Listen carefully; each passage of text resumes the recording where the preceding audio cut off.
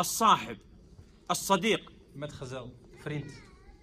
إما أن هذا الصديق صاحب يعني يسحبك إلى الخير أو إلى غير الخير الشر نسأل الله عافية السلام الفريند المدخزل أوف هاي نيم شاو أن هاي تريك شاو آه، أخيف شاو ستيك شاو إن هاند أوت أم تتريك أن هاد تفردر بلك أوف هاي شاو رايك شاو دهاند أوت أم تتريك أن هاد وقالوا في الأمثال مثل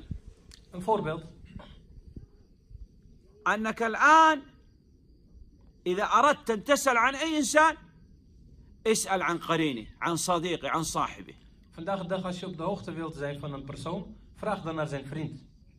يعني أريد أسأل عن هذا الشيخ Ik wil bijvoorbeeld over eh, deze persoon iets vragen. ماذا كيف أسأل أبحث عن صديقي Dan vraag ik naar een vriend van hem. Dan, op die manier leer ik hem kennen. إذا الصديق يشرب دخان إذا هذا لابد يشرب دخان Als, zijn, als deze vriend die ik vraag eh, rookt, dan weet ik dat deze waar ik eigenlijk naar, eh, naar op zoek ben qua informatie ook een rokende is. هذه المرأة لها صديقة لا تحتجب إذا في يوم من الأيام ستصل هذه إلى ترك الحجاب Ja, als een vrouw bijvoorbeeld geen, eh, of een eh, hijab, eh, niet een hijab dragende vriendin heeft, dan gaat het een van de dagen in de toekomst zou eh, kunnen brengen dat deze zuster, die de hijab wel En- draagt, op een gegeven moment ook de hijab zal gaan afdoen. النبي صلى الله عليه وسلم يقول لا تصاحب إلا مؤمنا profeet sallallahu zegt, eh, vergezel slechts een gelovige.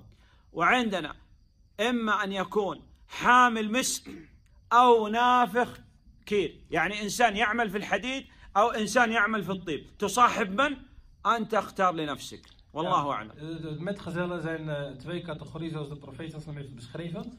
Of eentje die de geur van misk draagt, of eentje die eh, werkt bij een ijzersmeet, dus een ijzersmeet.